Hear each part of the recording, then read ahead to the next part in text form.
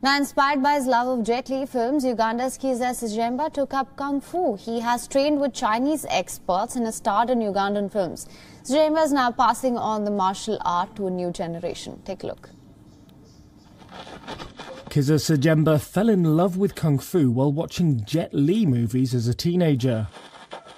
Today, the 30 year old Ugandan stars in action movies himself and he's passing on the martial art to a new generation. Yes. Growing up in an informal settlement in Kampala, he says he had to learn at an early age how to ward off muggers. I decided no, these girls, they need to get what they call self-defense so that they can at least fight for themselves. Ssejjemba has been starring in films made by Wakaliwood, a Ugandan low-budget action film company, for over a decade. Uh, how did you learn Kung Fu? But in 2017, while shooting Bruce U, he travelled to China to train with Kung Fu experts. That was where his passion for teaching was fostered. He says an abbot taught him some techniques and told him to spread Kung Fu in Africa. So that's what Ssejjemba did. He opened a club in his backyard, training young people aged between 5 and 16. Many at the club in the central town of Nansana are girls, encouraged by their communities to gain self defense skills.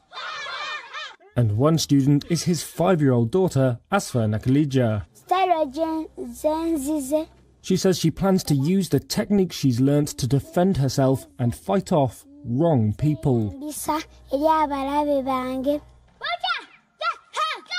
Ssejjemba's classes are free of charge, but he says attendance has dropped off amid the global health crisis. Nevertheless, he has high hopes for his students.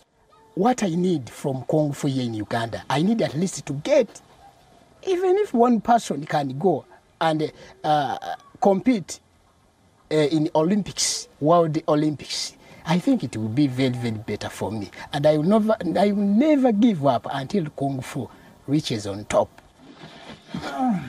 Kung Fu is not currently an Olympic sport, but promoters are fighting for its inclusion. And it is an event at the Youth Olympic Games.